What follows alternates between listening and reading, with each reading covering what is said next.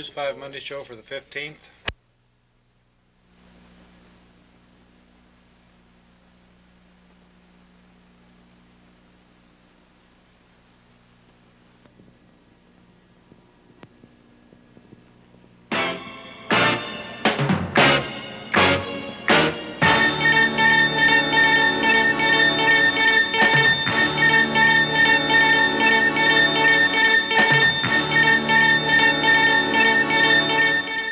Good evening. I'm Phil Wilson. And I'm Twyla Young. Welcome to Monday, a News 5 special report. Tonight we're going to look at the kinds of problems that declining enrollment is causing one rural school district in the state and what that, that school district is doing to combat those problems. We'll also be checking into Iowa State University's exercise clinic. Keeping in shape is in these days, and we'll find out what's going on at the clinic and what's special about it. And we'll look at the phenomenon of self-service gasoline stations. There are more and more of them cropping up, and more and more full-service stations are going self-serve. We'll find out what's behind that and why people brave the cold to pump their own gasoline. Tonight on Bob Pyle's Notebook, we're going to visit one of the state's biggest tourist operations. Bob reports that in the rush to get the tourist dollar, the Amana colonies have lost much of their old world heritage. Many Amana residents realize this, and they're working on a plan to get some of that heritage back. Living in Iowa, all of us have heard of at one time or another the Amana colonies. These seven villages have gained the reputation of being one of the nation's biggest tourist attractions, drawing people from all over to visit their fine restaurants and pick up on quality handmade goods. The colonies didn't always cater to tourists. Originally, they were comprised of about 1,500 people who came to America from their native Germany to seek religious freedom from the Lutheran Church. They made the trip in 1844 and settled in a communal society near Buffalo, New York. But Buffalo was growing, so to escape the city 10 years later, the group moved to eastern Iowa in search of space to let their religious community grow.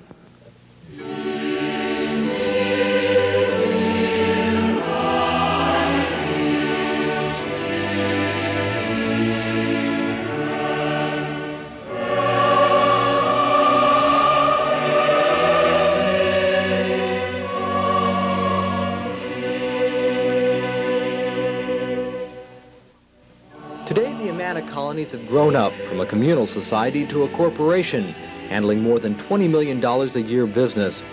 But instead of the community being run by church elders, the Amana Society corporate board is now in charge, divvying up the society's profits to its stockholders.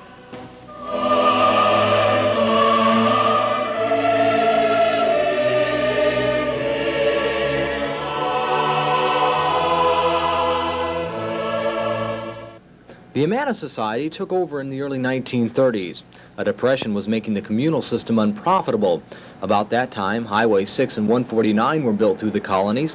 This brought the outside world to Amana, with people who were willing to pay a price for Amana goods. Originally, the woolen mill, which is still in existence, and the furniture shop, and the meat markets, and the bakeries, all produced products for use by the Amana people.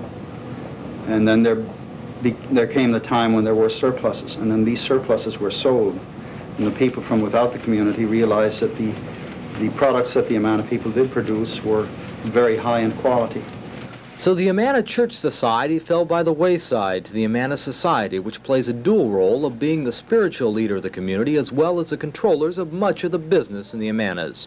The Amana Society has assumed the positions of what ordinarily would be the city council, uh, the city administration, mayor. Besides running the colony's government, the society also has complete control over all the production and sales of Amana furniture, foods, and woolen products. How does the society cope with combining business with the church? Uh, the visitors that come to Amana, that frequent Amana Society businesses, uh, get their money's worth there's no attempt to mislead or, or defraud. And as long as, uh, as long as the society plays it on the up and up with the visitors to the Amana community, there, there is no problem with the church. The tourists we talked to didn't seem to have a problem with the society's combination of church and state. Well, we enjoy the food here. We come back two or three times a year and enjoy uh, good food, and then we always take home some bread and some sausage and maybe a bottle of wine and have a little uh, fun and get back home too. It's fun to bring relatives and friends over here. Well, it's an interesting place to go to. They have good food here, and uh, it's kind of going back into the old world, I guess. Seeing some of the things in the stores. To aid the tourist in spending his money, the board decided to expand the Amanas to outside the colony's limits. There is now a Little Amana, which is located on Interstate 80, and there's several Amana general stores. Two of the general stores are located in the Des Moines area.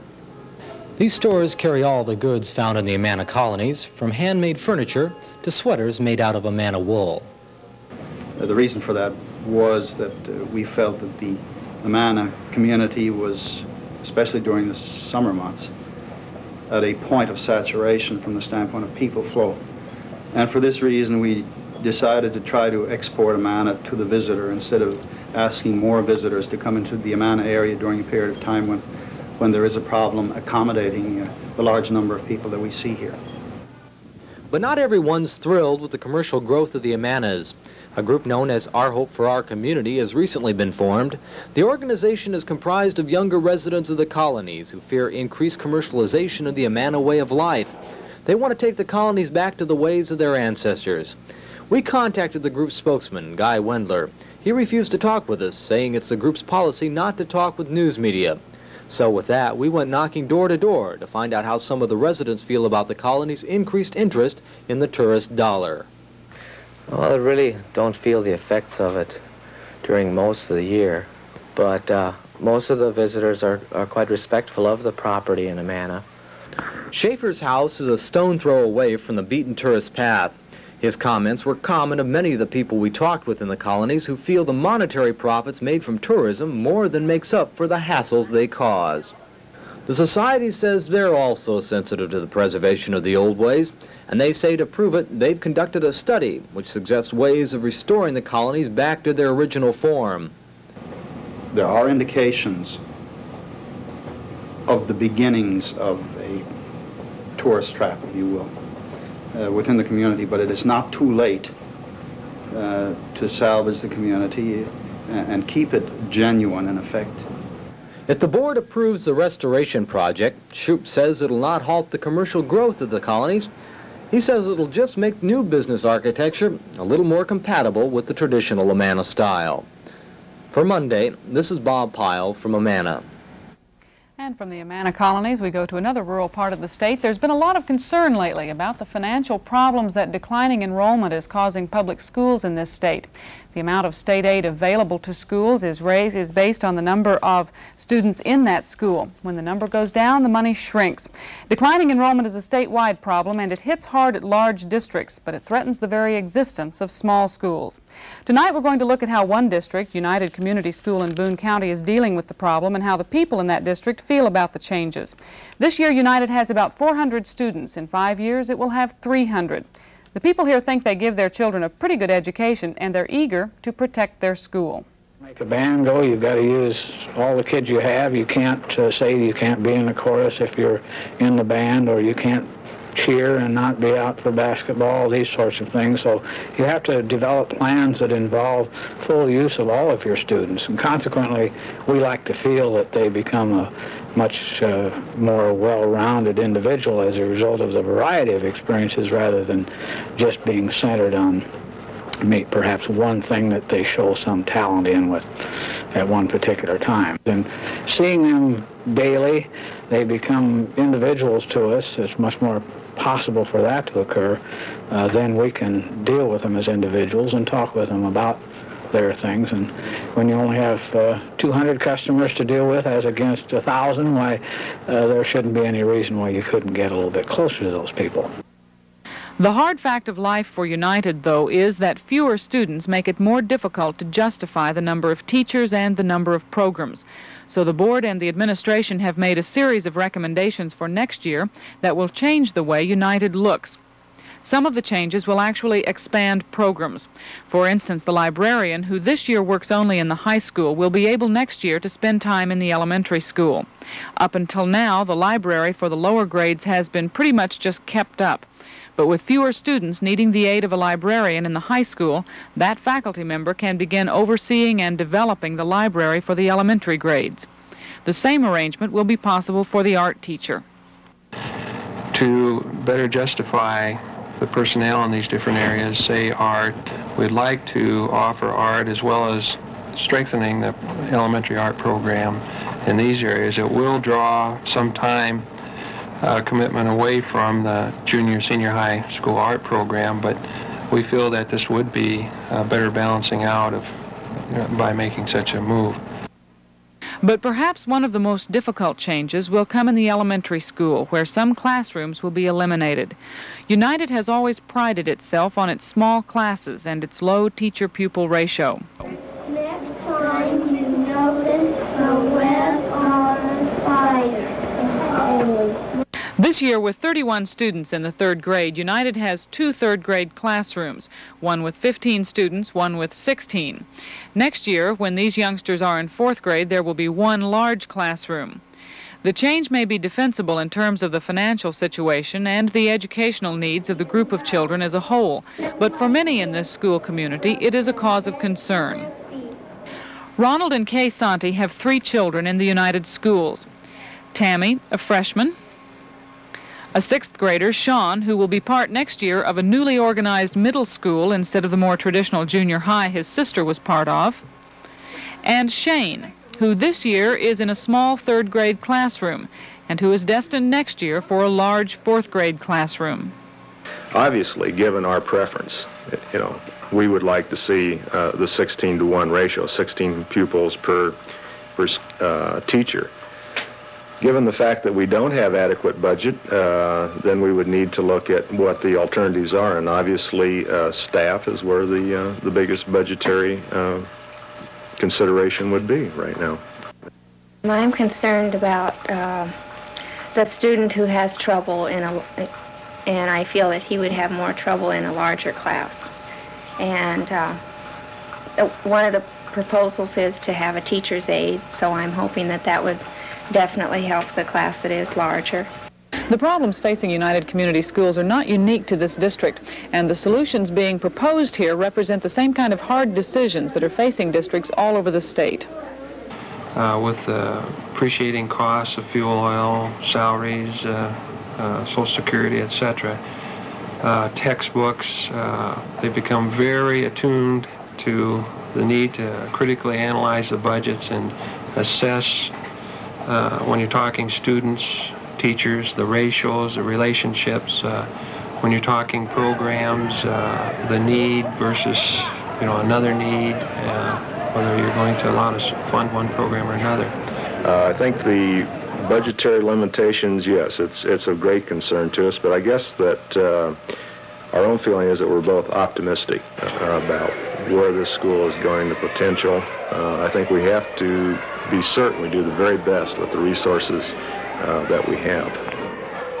Although the problems here are enormous, there is a vitality in these small schools, a sense of community. The people who live here and work here believe in the value of their kind of education and their ability to make it survive.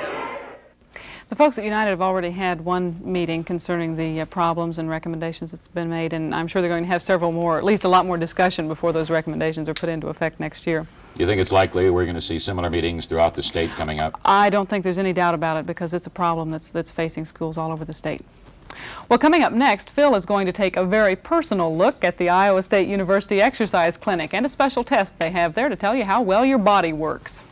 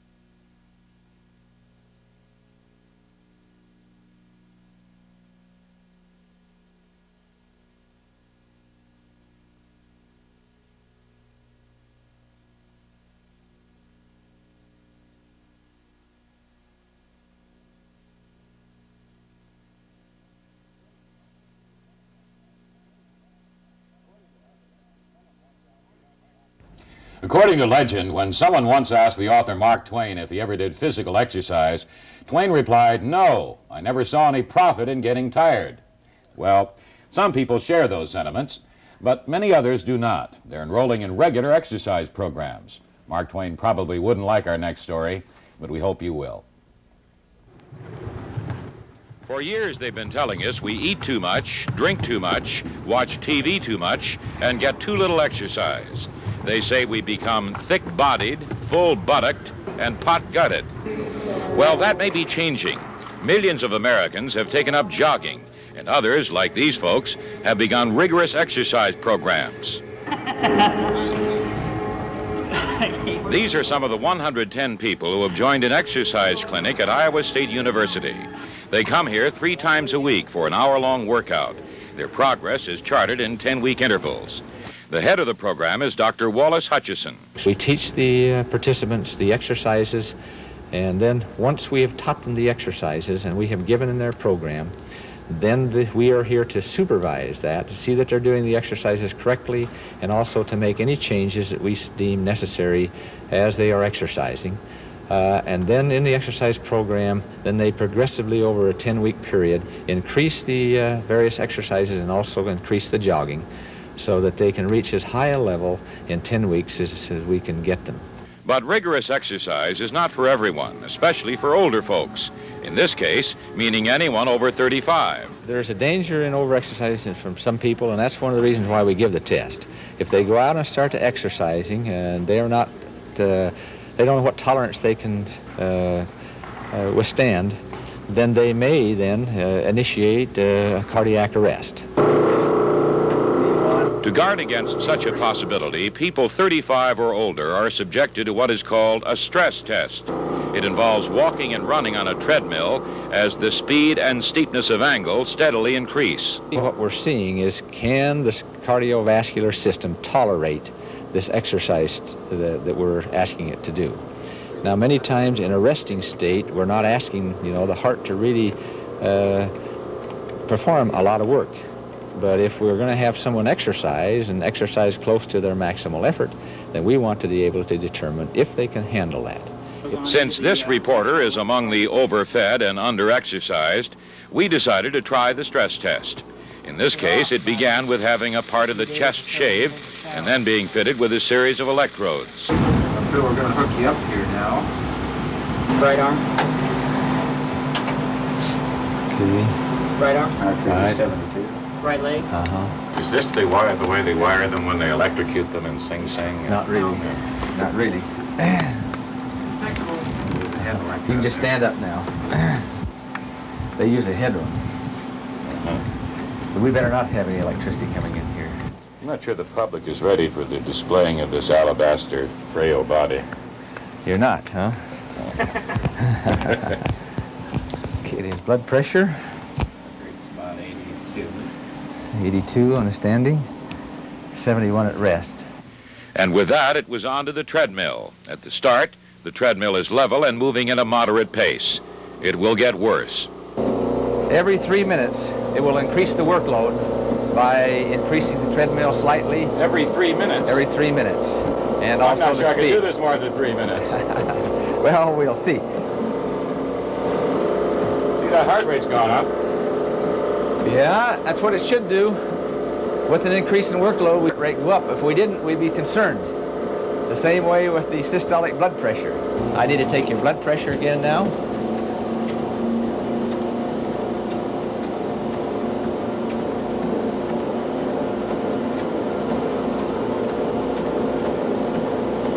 Okay, 196 over 90. Well, we got you stepping out there now.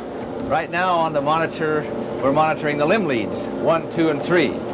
Now we can switch to the augmented leads, AVR, AVL, and AVF. If we want to, then we can monitor the uh, three leads on the chest, V1, V2, and V3. And then if we want to see V4 and V5 and V6, we can just switch it there. It's going to increase the workload, increase the speed and the elevation here now. This will make you really step out there. If you feel more comfortable jogging, you can go ahead and jog. Now, Okay, that's just kind of in between a walk and a jog. How you feeling? A little tired. Getting a little tired? Can you go another minute? Yeah. Okay.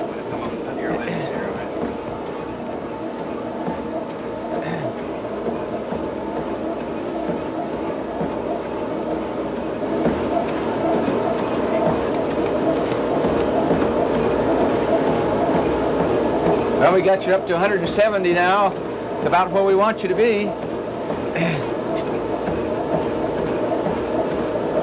Minute up? Not quite.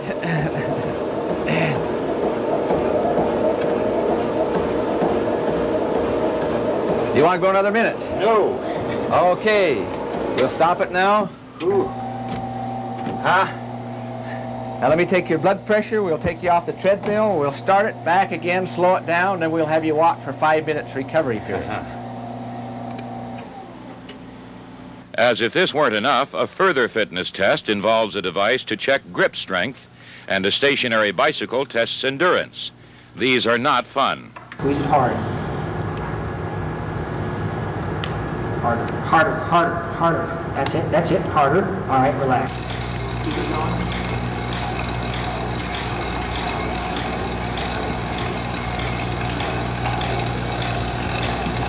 Three seconds. All of this prepared us for the exercise period the next day. After a 10 minute series of warm up exercises, we get into the heavy stuff. Better roll early because I'm not going to do many of these.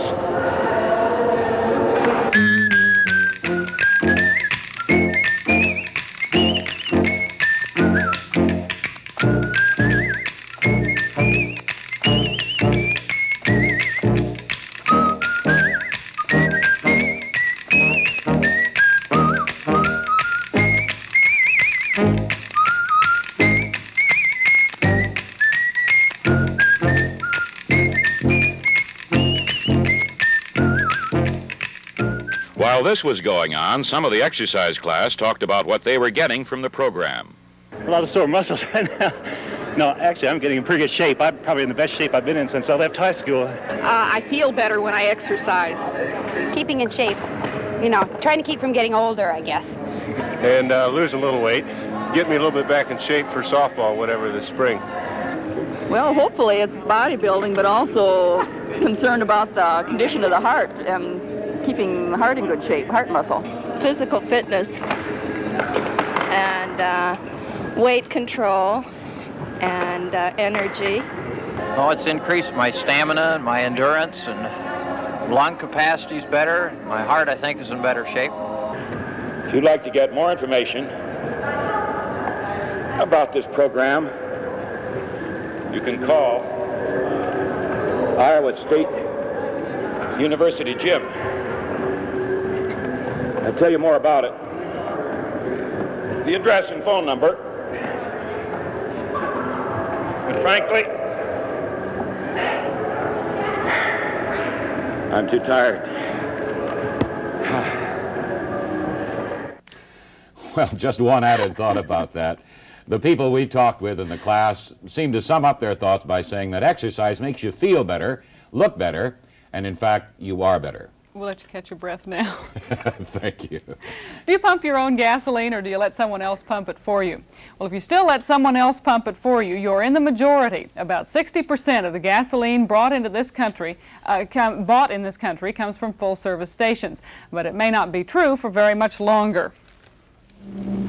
According to the Iowa Gasoline Dealers Association, by the mid 1980s, three quarters of the gasoline pumped in service stations will be pumped by the people buying it. And that means that full service stations are either going to have to close or change their style.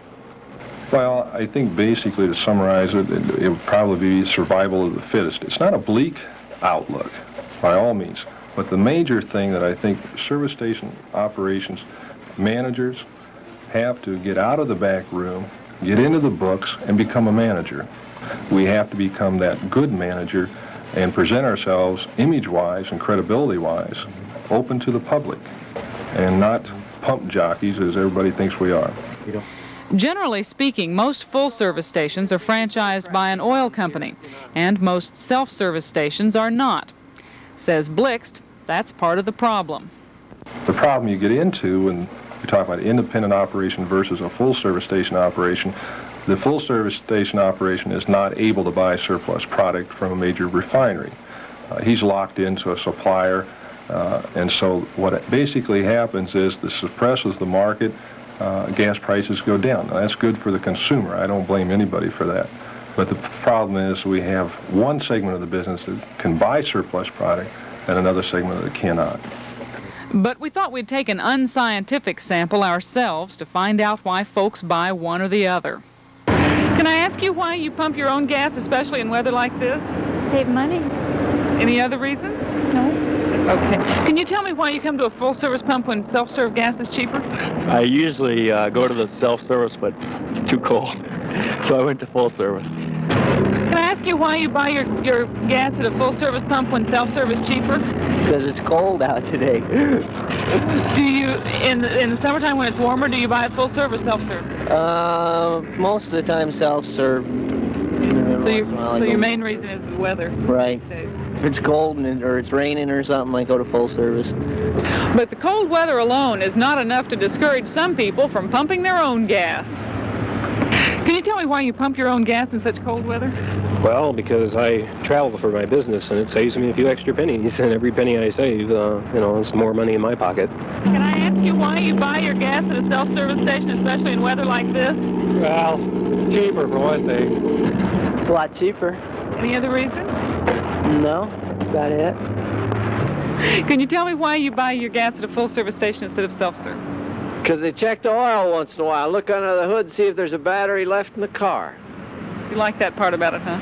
Well, yeah. I've, if I'm going to fill self-service, I'll fill out my own barrel at home. I'm 200 miles from home, and I let somebody else worry about it. I'll be, I'll be willing to bet that there are going to be lots of, at least a few self uh, full service stations and customers for them as long as Iowa has cold winters. And especially when it's 10 below zero, one of those customers will be me. I think I may be there with you. Well, that's Monday for this evening. We'll be back February 5 with a look at the popularity of what is sometimes called classical music, sometimes called serious music, and what is often called these days at least big business. Bob Pyle's looking into that situation, and he'll have a musical report for us. And we'll also be looking into special problems and circumstances of teenagers who become parents. There are some startling figures about the number of young people who are having children before they finish high school. And we'll examine genetic counseling, what it is and how it can help prospective parents. Many people are afflicted by genetic disease, those disorders that they inherit from their parents, whether their parents had that disease or not. So be sure to join us in three weeks for that program. I'm Twyla Young. And I'm Phil Wilson. Thank you and good night. I know.